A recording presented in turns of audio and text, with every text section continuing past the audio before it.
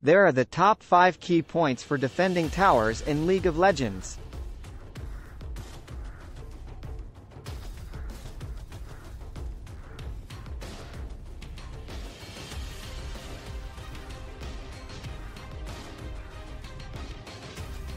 Stay under tower.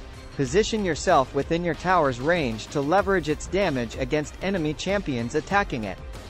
Wave management. Efficiently clear enemy minion waves.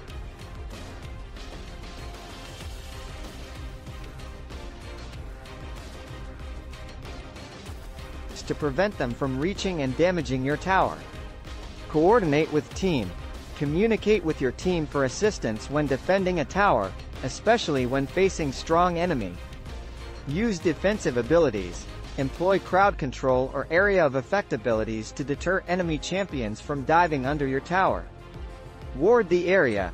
Place wards to gain vision around your tower, helping you spot incoming threats and react accordingly. Practice makes legends.